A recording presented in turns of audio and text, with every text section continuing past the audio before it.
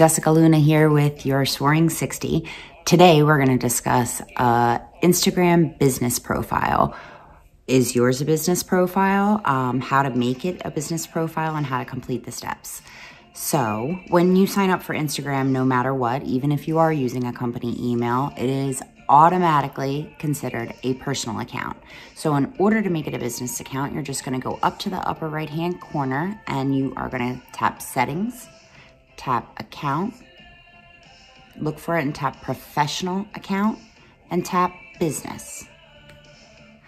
Thanks for watching. Um, we'll see you in the next 60 and we're going to tell you how to connect your newly found Instagram business profile to your Facebook business profile. See you then.